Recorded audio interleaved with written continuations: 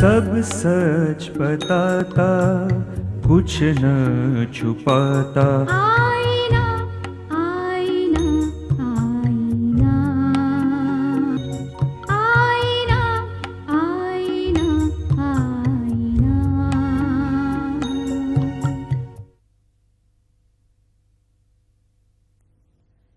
नमस्कार। ये कहानी जो हम आपको बताने वाले हैं एक ऐसे परिवार की है जिसने अपनी पूरी जायदाद, संपत्ति, नागालैंड के साहूकारों के हाथ खो दी। और अब वो वही संपत्ति रुपया रुपया वापस जीत रहे हैं। ये कहानी सत्य घटना पर आधारित है। लेकिन किन्हीं सामाजिक कारणों से ये परिवार अपना असली परिचय नहीं बताना चाहता। कहानी उन्हीं की है और उन्हीं के शब्दों में है। वो परिवार नागालैंड के उस गाँव में रहता है। मैं आज सब्ज़ी लेने गई थी तो उसने दाम बहुत बढ़ा दिए। कह रहा था कि उसे और भी पैसे चाहिए। तुम आज कहाँ गई थी? आज मैं आज मैं मंगल दास की दुकान पर गई थी। उसने क्या कहा? वो कह रहा था कि वैसे तो बाकी सारे पैसे आ गए हैं। अगर अगले दो महीने में उसके जो बाकी पैंतीस हज़ार रुपए हैं हम उसको दे दें तो गाँव का घर हमें वापस मिल जाएगा। पैंतीस हज़ार रुपए। इतने सारे पैसे हम कहाँ से लाएँगे? और वो भी दो महीने में? अजो मेरी दुकान गिरवी रखे तो। ना ना और उधार नहीं लेना। इतनी मुश्किल से तो हम साहूकार के चंगुल से निकले हैं। अब मुझे और उधार नहीं लेना। तो फिर इतना ढेर सारा पैसा कहाँ से लाएँगे? कुछ सोचते हैं। आज से दस साल पहले की बात है कि अतिले के पति वैजोखामो लकड़ी का धंधा करते थे।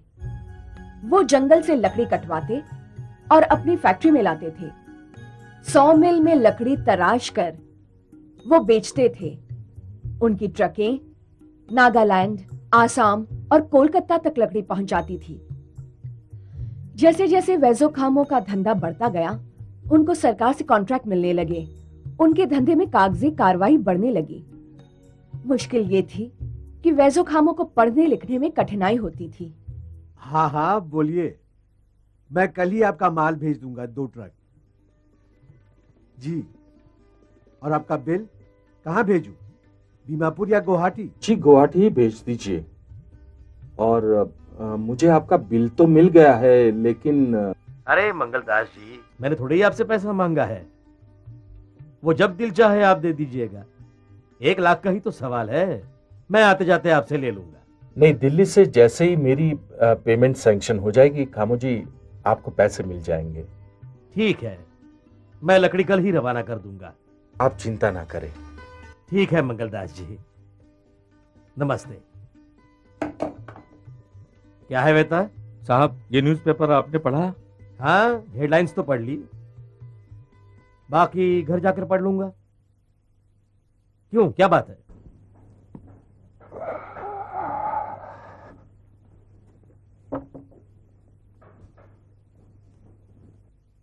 अतेले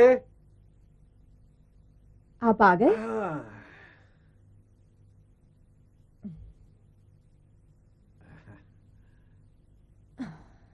एवेल्यू की चिट्ठी आई है। हम्म,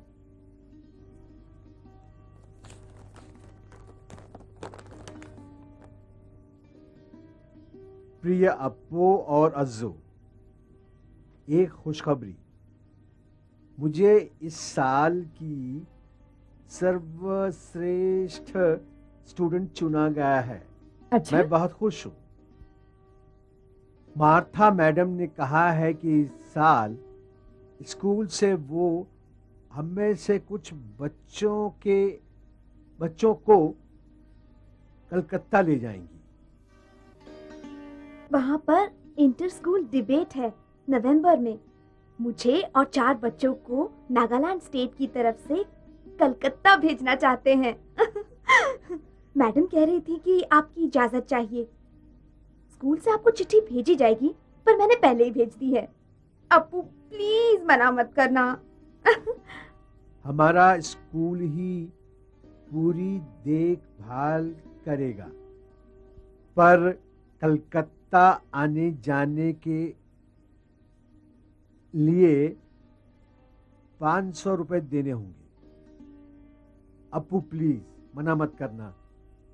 आपकी एवेल्यू हाँ घर में सबको प्यार भेजा है।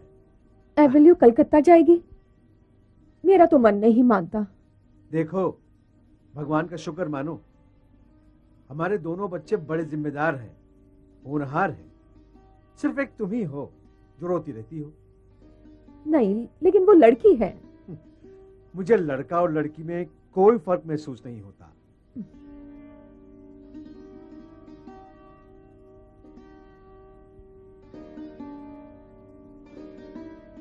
हथेले हम्म, मुझे लगता है फिर से स्कूल जाना पड़ेगा।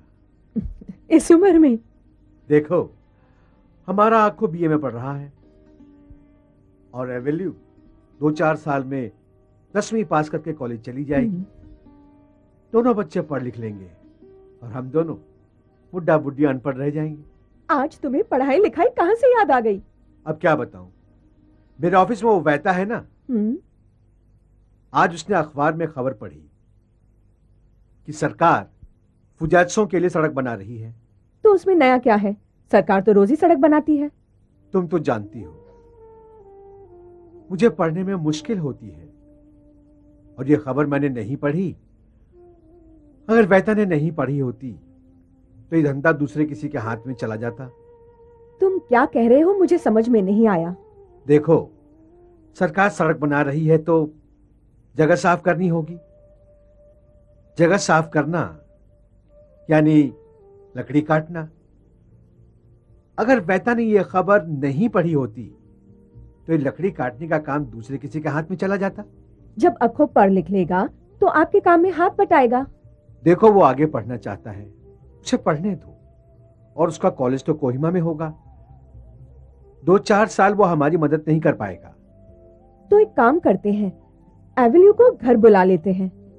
नहीं नहीं वो स्कूल में पढ़ती है। और उसके लिए हम लोगों को तो कोई खर्चा नहीं है। वो तो स्कॉलरशिप में पढ़ती है। इतना पढ़ाकर क्या करोगे? कौन सी सरकारी नौकरी मिलने वाली है उसे? वो तो उसकी बात है। मगर मुझे दूसरों के सामने बेबस होना अच्छा नहीं लगता। कितनी बार सरकारी कागज़ भरने पड़ते हैं और मुझे लोगों से पूछ पूछ कर भरना पड़ता है। अगर कुछ गलत लिख दिया तो?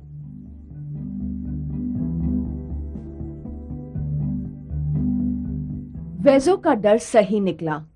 उन्होंने कॉन्ट्रैक्ट तो लिया लेकिन टेंडर का फॉर्म भरने में एक छोटी सी गलती के कारण उनके धंधे में नुकसान पहुँच गया और वेजो को मंगलदास से पैसे उधार लेने पड़े। खामोजी जब मैंने सुना कि आपने इतने कम भाव में कॉन्ट्रैक्ट लिया है मैं तो हैरानी रह गया। आपने इतने कम पैसों में कैसे मान लिया? टेंडर भरने में मेरे आदमी ने गलती कर दी। और तो आपने टेंडर का फॉर्म चेक नहीं किया था क्या? खामोजी तभी तो लोग कहते हैं कि नागा को धंधा करना नहीं आता। तो क्या आप उधार नहीं? देखिए आप मेरी बात का बुरा न माने। मैंने कब कहा कि मैं आपको उधार नहीं दूँगा? नहीं मंगलदास जी मुझे लगा कि आप नहीं नहीं ऐसी कोई बात नहीं है। आपने मुझ पर हमेशा विश्वास किया है। मैंने सुना है कि लीमा पानी के पास कुछ कटाई का कॉन्ट्रैक्ट दिया जा रहा है। आप कुछ जानते हैं? देखिए मेरी वहाँ पहचान है तो मैं पूछकर कल आपको फ़ोन नंबर दे दूँगा। और देखिए इसमें कहीं मेरा नाम नहीं आना चाहिए। बस आप इतना कर दीजिएगा तो बहुत मेहरबानी होगी। मेरा सारा घाटा मिट जाएगा। नहीं आप चिंता छोड़ दीजिए। चलिए नमस्ते।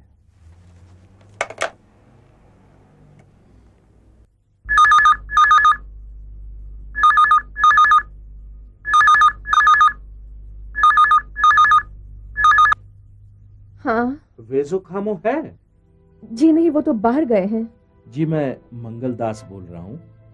देखिए मुझे अचानक राजस्थान जाना पड़ रहा है। क्योंकि मेरी माँ की तबीयत बहुत खराब है। तो वेजो को कहिए कि उनके पैसे मैंने अपने आदमी के पास रखे हुए हैं राम मगन के पास। आप उन्हें जरा बता दीजिए। जी अच्छा। जी आप ये नाम और नंबर लिख लेंगे? लिख लू? जी लेकिन मैं तो मैंने वेजो को कहा था कि मैं नाम और नंबर दे दूँगा। जी कहिए। जी ये नंबर लीमा पानी के पास नाचो का है। और नंबर है ज़ीरो तीन छ दो पाँच चार चार आठ दो छ चार चार आठ दो छ नाम है नेलो हालेमेती नाम है नेली हाले मेती जी मैं वैजो को आपको फ़ोन करने को कहूँ? वेजो को कहिए कि कल काम ज़रूर हो जाना चाहिए। अगर कल दोपहर बारह बजे तक फ़ोन नहीं किया तो फिर काम किसी और को मिल जाएगा। जी अ, आपने नंबर क्या कहा? फिर से लिख लीजिए। ज़ीरो तीन छ दो पाँच चार चार आठ दो छ ज़ीरो तीन छ दो पाँच चार चार आठ दो छ जी नमस्ते। नमस्ते। ज़ीरो तीन छ दो पाँच चार चार आठ दो छ ज़ीरो तीन छ आठ दो चार चार छ दो आठ। ज़ीरो तीन छ आठ दो चार चार छ दो आठ। ज़ीरो तीन छ आठ दो। चार चार दो छ आठ। ज़ीरो तीन छ आठ दो। चार चार छ दो आठ। ये क्या है? क्या लिखवा रही हो? नंबर सेठ मंगलदास ने दिया है। मंगलदास ने कुछ नाम बताया है क्या? हाँ कोई हाले मेथी का नंबर है। उन्होंने कहा है कि 12 बजे के पहले फ़ोन कर लीजिएगा नहीं तो काम हाथ से चला जाएगा।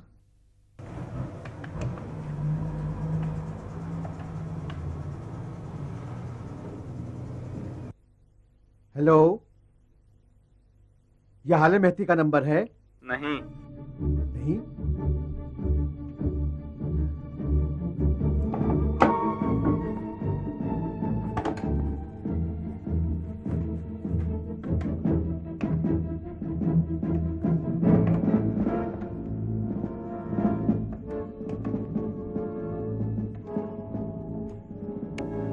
यह हाले मेहती का नंबर है?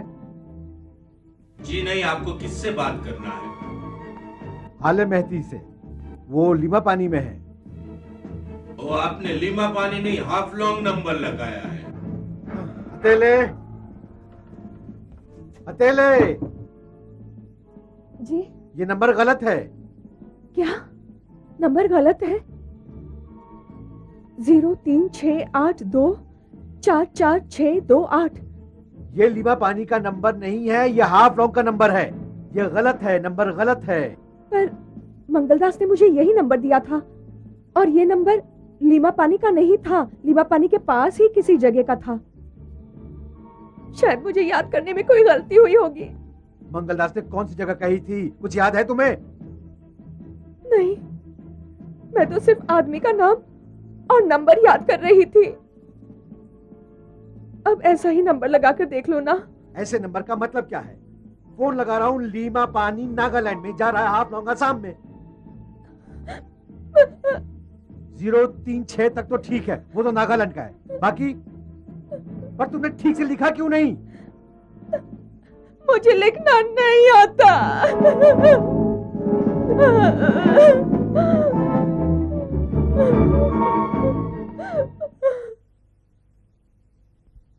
बस। और तब से तुम्हारे आपो टूट से गए। और मंगलदास? उसका तो कर्ज बढ़ता चला जा रहा है। तुम्हारे आपो ने बीस हज़ार रुपए उधार पर लिए हैं। और वो भी हर महीने सौ रुपए पे छह रुपए ब्याज। अब तो ब्याज चुकाने के लिए भी पैसे उधार लेने पड़ रहे हैं। आप चिंता मत कीजिए। मैं कॉलेज छोड़ के अपो के धंधा में मदद करूँगा। खबरदार जो तुमने कॉलेज छोड़ा। तुम पढ़ो। मैं कुछ और कर लूँगा। मगर मंगलदास की बात तो सही निकली। वो हमेशा कहता था कि नागा लोग धंधा नहीं कर सकते। इसीलिए तो कलकत्ता से, राजस्थान से, पंजाब से लोग आके सालों साल धंधा करते हैं। कितने नागा मिलते हैं जो सच में बड़ा धंधा करते हैं? तुम एक नौकरी ढूंढ लो। क्यों अपो क्या हम लोग बुद्धू हैं? हमारे हाथ में हुनर नहीं है। क्या हम लोग आलसी हैं? नहीं। धंधा उसके दांव पेच हमें नहीं आती। तो सीख लेंगे। कौन सीखेगा? क्यों? मैं हूँ। अखो है। अरे हम सीख लेंगे। नहीं नहीं। ये तुम्हारे पढ़ाई के दिन है तुम पढ़ो। अखो पढ़कर क्या करेगा? नौकरी? नौकरी है कहाँ? हर सरकारी पोस्ट के पीछे सौ उम्मीदवार खड़े हैं। और अपनी जान पहचान कहाँ है? अपो मुझे वापस आकर अपने साथ काम करने दीजिए। तुम पढ़ोगे। मेरी कसम खाओ कि तुम एम ए खत्म करोगे। अपो मैं मेरी कसम खाओ। बेटा जब तुम्हारे अपो इतना कह रहे हैं तो बात उनकी मान जाओ। कसम खा लो कि तुम एमए तक पढ़ोगे अपो मैं कसम खाकर कहता हूँ कि मैं एमए तक पढ़ूँगा। उस दिन के बाद वैसो कभी अपने दफ्तर ही नहीं गए। अखो कोहिमा तो वापस गया और इधर उधर काम करके अपने कॉलेज की फ़ीस भरने लगा। एवेल्यू स्कूल वापस गई और एक टीचर के घर में रहने लगी। और एक दिन वैजो इस दुनिया से चल बसे।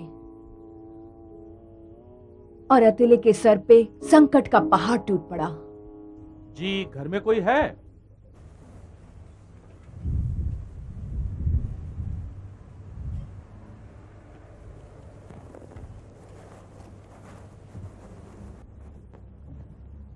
जी नमस्ते। नमस्ते। आप? मैं मंगल दास। फ़ोन पे हमारी अक्सर बातें होती रही है पर मिले पहली बार। ओह आप मंगलदास हैं? जी। बैठिए बैठिए। जी शुक्रिया।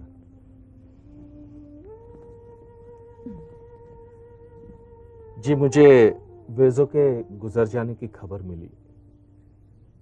बहुत बुरा हुआ।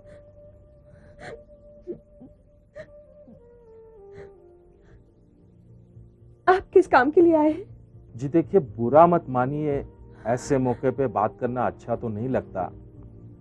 पर वेजो ने मुझे कुछ पैसे देने का वादा किया था। आखो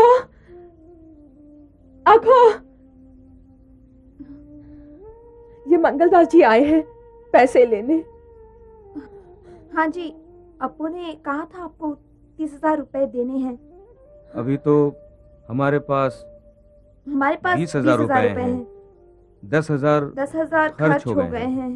देखिए बात यह है कि वेजो ने मुझे कुछ ज़मीन के कागजात दिए थे। और अभी आपके पास पैसे तो है नहीं कि आप मुझे पैसे देकर वो ज़मीन छुड़वा ले। और मैं नागा नहीं हूँ तो आपकी खेती या ज़मीन भी नहीं ले सकता हूँ। और मेरा सारा बेनामी काम बीरी संभाल रहा है तो आगे से आप बीरी से ही बात कर ले। क्योंकि अभी आपको मुझे दो लाख रुपए देने बाकी है। मैंने तो पहले ही वैजो को कहा था कि नागा लोगों को धंधा करना आता ही नहीं। अब सेठ मंगलदास वही दोहरा रहे थे जो पीढ़ी दर पीढ़ी लोग कहते आ रहे हैं कि नागा को धंधा करना ही नहीं आता। जहाँ वैजो खामों का धंधा ठप हो गया, वहाँ कर्जा देने वालों ने बेचारी अतिले का जीना मुश्किल कर दिया। और एक दिन वो लोग बिना किसी को बताए चुपचाप कोहिमा चले गए।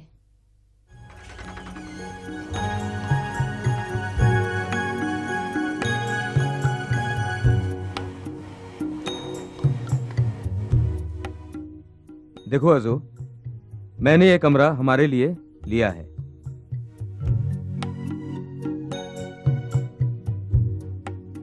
ये कमरा? अब क्या करें? गाँव में तो वापस नहीं जा सकते। उस दिन मंगलदास ने कहा था कि हमें उन्हें दो लाख रुपए देने बाकी हैं। लेकिन हमारे यहाँ एक खेत तो है। उसको हम बेचकर पैसे वापस कर सकते हैं ना? फिर उसके बाद हम क्या करेंगे? मैं खेती कर लूँगी। अकेले? अजू मैं पढ़ाई छोड़ दूँ? नहीं बेटा तू पढ़ाई नहीं छोड़ेगा। बेचारी एवेल्यू तो स्कूल छोड़कर चली आई। पर तू पढ़ेगा। तूने अप्पू को वचन दिया है, समझे? मेरा तो खून खोलता है।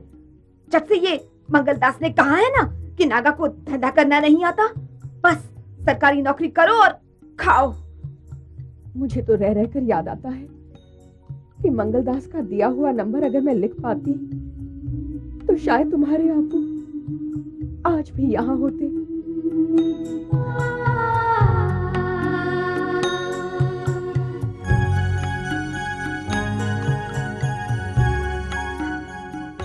माथा। ओह सिस्टर। सिस्टर माथा।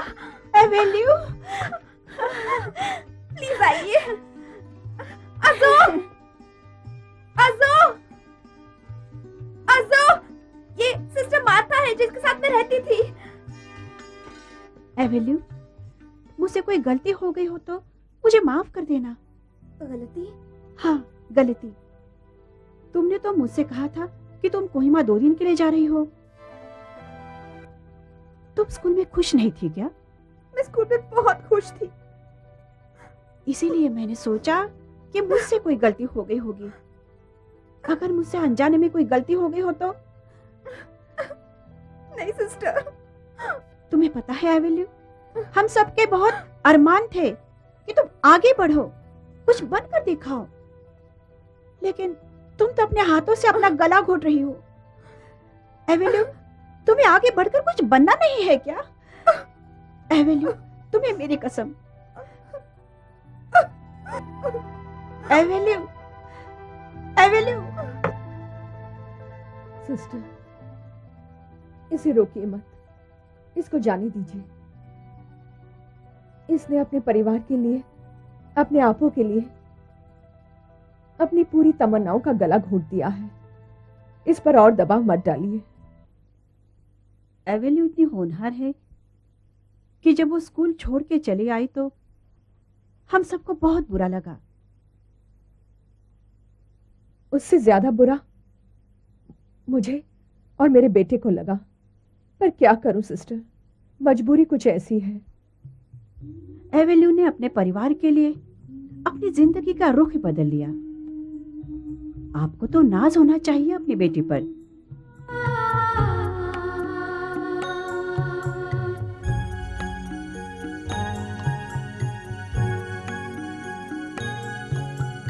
सब सच बताता कुछ न छुपाता। अजो ये क्या है? क्या दिखता है तुझे? इस उम्र में? कल सिस्टर मार्था ने जो बात की थी ना वो सही थी। कौन सी बात? उन्होंने कहा कि तुमने अपने परिवार के लिए अपनी ज़िंदगी का पूरा रुख बदल दिया। तब से मैं सोच रही हूँ कि तुम दोनों इतना कर रहे हो और मैं इतनी सी बात नहीं कर पाई। इतना तो कर रही हो। और क्या करना है? अगर मैं उस दिन सेठ मंगलदास का दिया हुआ नंबर लिख सकती थी तो अजो छोड़ो ना इन पुरानी बातों को। नहीं बेटा। तुम्हारे आपो कहा करते थे कि जो आदमी अपनी गलतियों से नहीं सीखता वो ज़िंदगी में कुछ नहीं कर सकता। एक बार मैंने गलती की फिर नहीं करूँगी।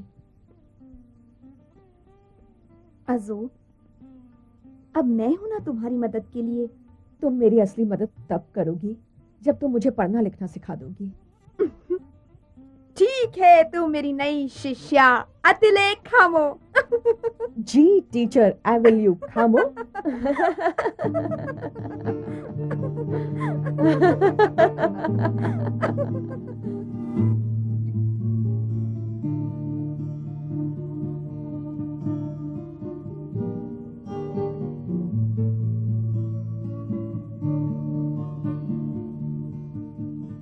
ये दस। ये दस? हाँ। और ये बड़ा वाला? अ, पचास। पचास रुपया? ये आधा लेना है क्या आपको? ये आधा तो चाहिए था मेरे को लेकिन आतिले, आपका फ़ोन है। दे रहे हैं। एक मिनट। आप जरा देखो प्लीज़ ये छोटा वाला कैसे दिया? दस रुपया। हेलो हाँ हाँ बोलो। हाँ आखो। अच्छा। बी पंद्रह एक मिनट हाँ। हाँ बोलो मैं लिखती हूँ। हाँ हाँ। चार चार आठ आठ दो छ। ठीक है। हाँ। हाँ मैं एवेल्यू को बोल दूँगी। ठीक है। अच्छा।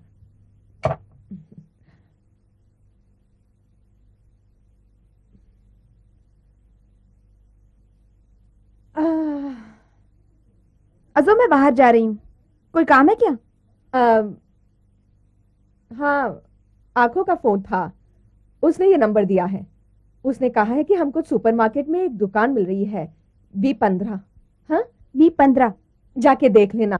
अच्छी लगे तो आँखों को इस नंबर पर फ़ोन कर देना। अरे ये तो मेरी शिष्या अतिलो खामो की लिखावट है। जी टीचर।